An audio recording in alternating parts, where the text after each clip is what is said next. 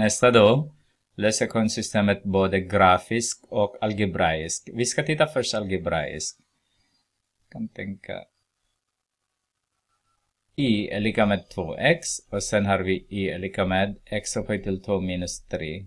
Och då har vi x upphöjt till 2 minus 3 är lika med 2x. Minus 2x där, minus 2x.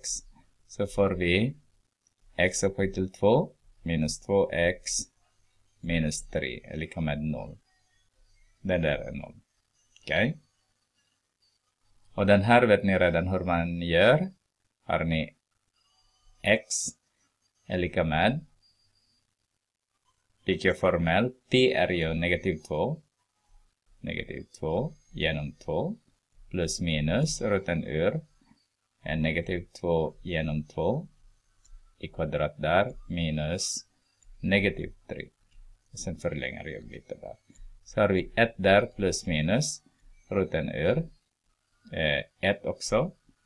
1 upphöjt till 1 och sen plus 3. 1 plus minus, då har jag 4 så är det 2. Så x sub 1 är lika med eh, vad blir det? Negativ 1. 1 minus 2.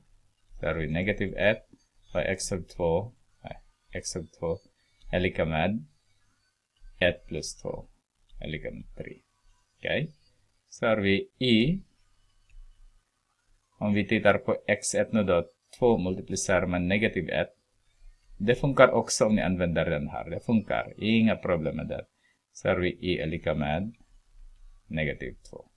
Så det första punkten de ska träffas eller mötas. Korsar om man säger så. Så har vi minus 1 och minus 2. Okay.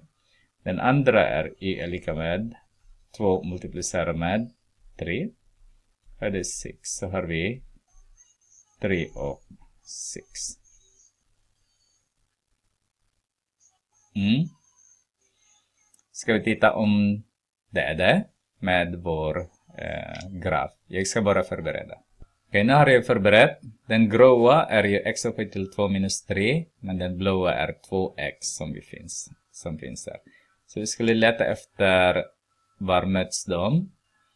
Om vi ska titta på den här punkten, då har vi minus 1 minus 2 som vi fick innan och den här måste vara 3 och 6.